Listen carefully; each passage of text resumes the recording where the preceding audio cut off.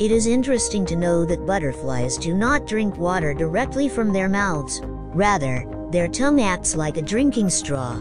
You can see the image of the microscopic surface of the butterfly tongue.